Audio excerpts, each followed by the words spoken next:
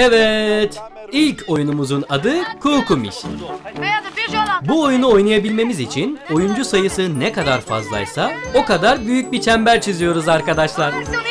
En az 4 kişiyle oynanan bu oyunda gözümüzü bağlamak için bir mendil, bez parçası ya da buna benzer bir nesneye ihtiyacımız olacak.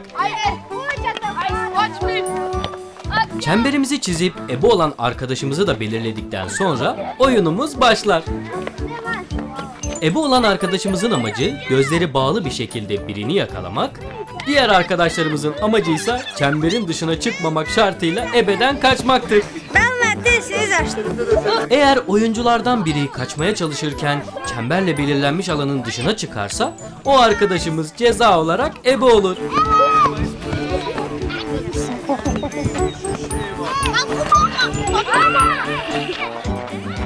Oyundaki arkadaşlarımız ebeyi şaşırtmak ve oyuna heyecan katmak için çeşitli sesler çıkarabilir ya da ebeye dokunabilirler.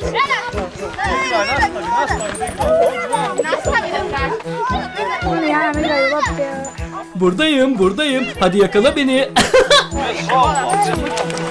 Hop, işte yakalandım. Şimdi ebe olma sırası sende arkadaşım.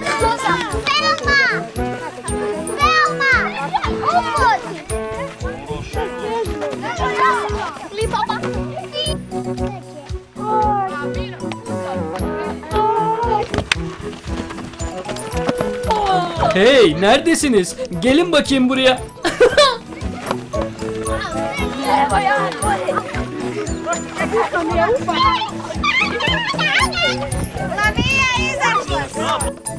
Bu oyunda hem ebe hem de diğer oyuncular için dikkat çok önemlidir arkadaşlar.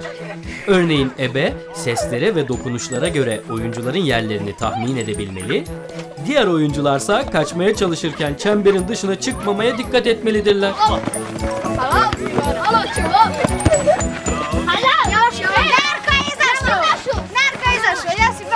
Bir arkadaşımız daha çemberin dışına çıktı.